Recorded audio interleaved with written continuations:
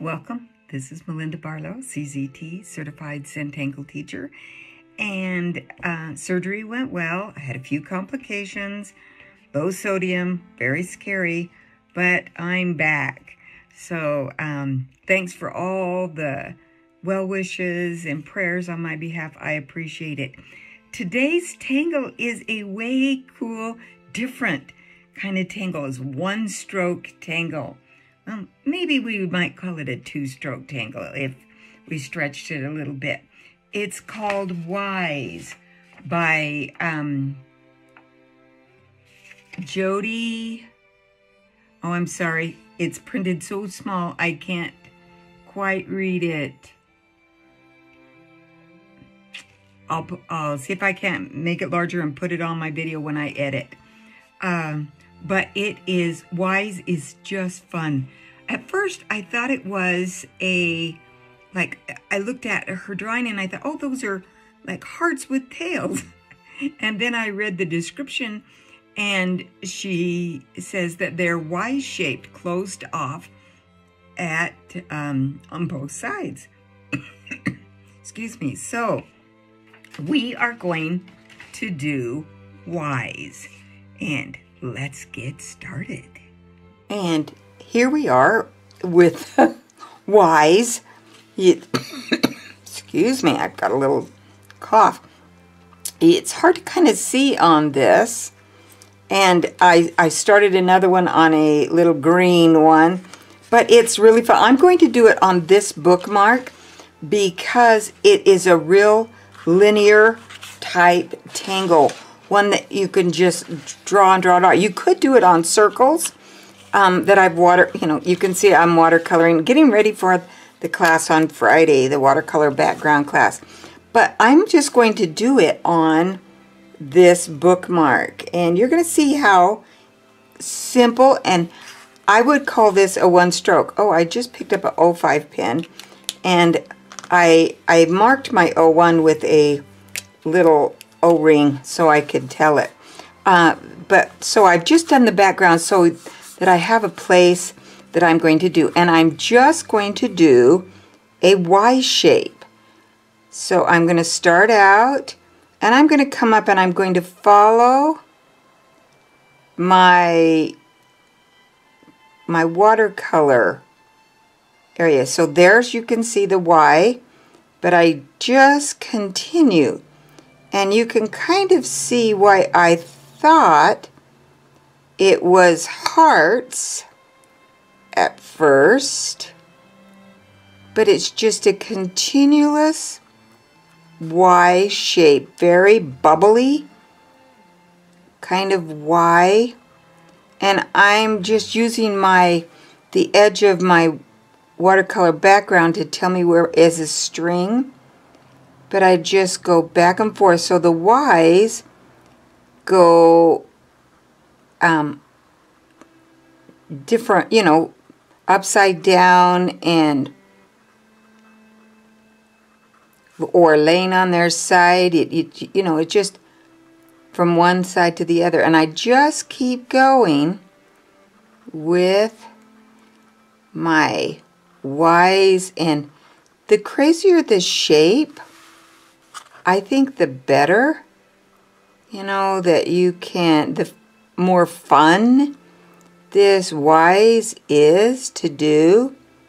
So you can just give it some really wild skinny shapes or you can make them a little fatter. And I think that it's just a great little relaxing tangle.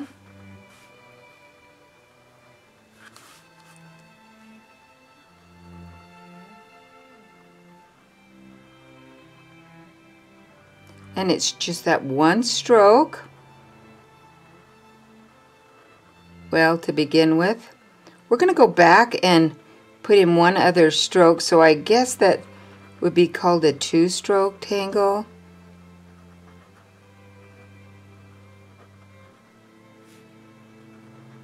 But I'm just using that watercolor little background that I drew to kind of give it, give me a place to go.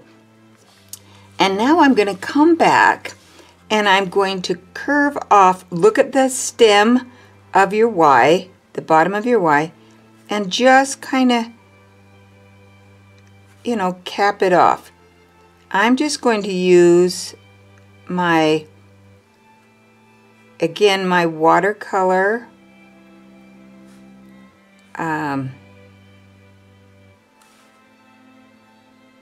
background to tell me about where to stop.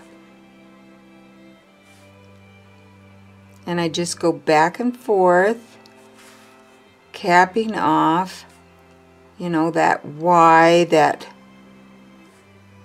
I don't know what you call the bottom part of the Y.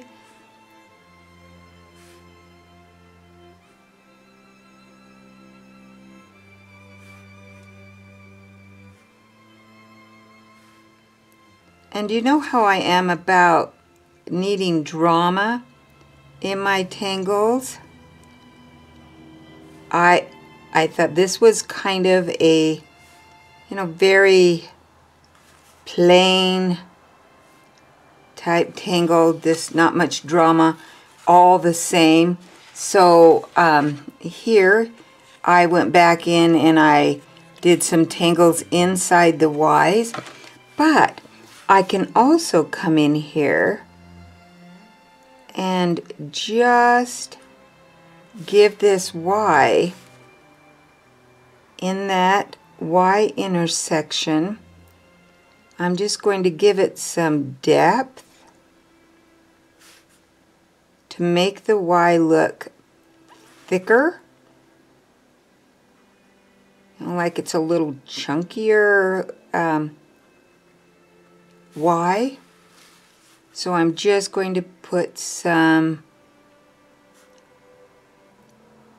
a little rounding off in here to kind of thicken up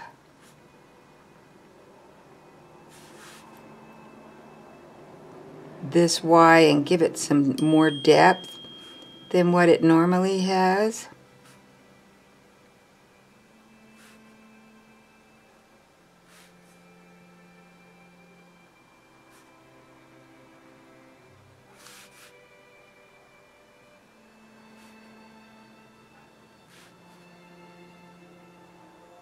But I'm just alternating back and forth, giving this a little bit of depth with some, you know, rounding off in that Y section.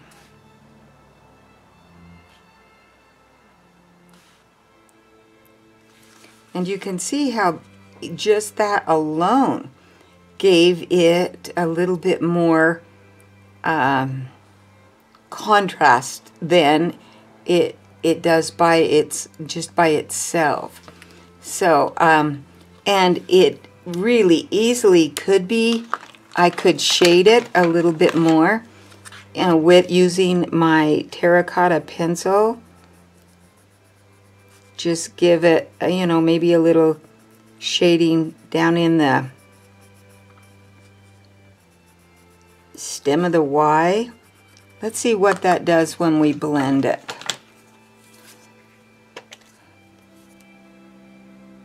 I'm moistening my shading stump.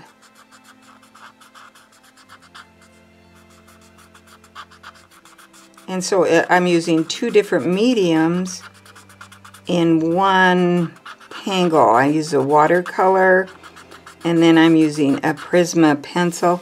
But you can see just how that even um, gives it a little bit more uh, depth in the tangle. Shading always helps your tangles. And you could shade with the, you know, with the watercolor, I mean with the Prismacolor and blend it with your odorless paint thinner or just give it some um, shading with a graphite pencil just to give it a little bit more.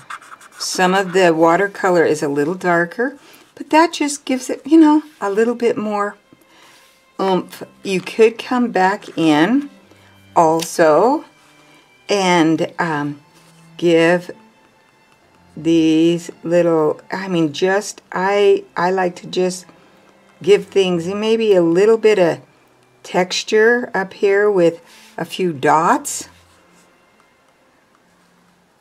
And, um, and see what that does. And even on the outside of here, some orbs. This could be a lot of fun to play with. So, have fun with Wyse by, let's see if I can get my glasses off. Jody mm, Genevieve's, I think, um, CZT. Well, it is, I, I should have made her name a little bit better, bigger, but it is a fun, different tangle. I hope you enjoy. Have a great day, and thanks for stopping by my channel. And um, we enjoy just tangling every day.